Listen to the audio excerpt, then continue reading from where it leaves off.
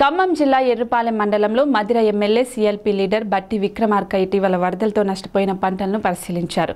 ఈ సందర్భంగా ఆయన మాట్లాడుతూ నష్టపోయిన రైతులకు ప్రభుత్వం నష్టపరిహారం చెల్లించాలన్నారు. మధిర నియోజకవర్గంలో వేళ్ళలో పంటలు నష్టపోతే ప్రభుత్వం పట్టించుకోవడం లేదని సంబంధిత అధికారులు పంటల నష్టాన్ని అంచనా వేయలేదన్నారు.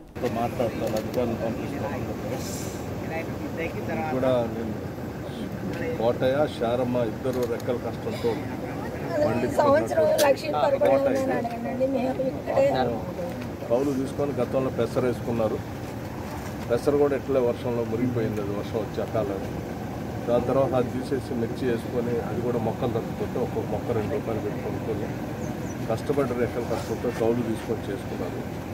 సడన్గా మొత్తం వరద వచ్చేసి మొత్తం మురిగిపోయింది. దేనికి పనికిరాని పరిస్థితి.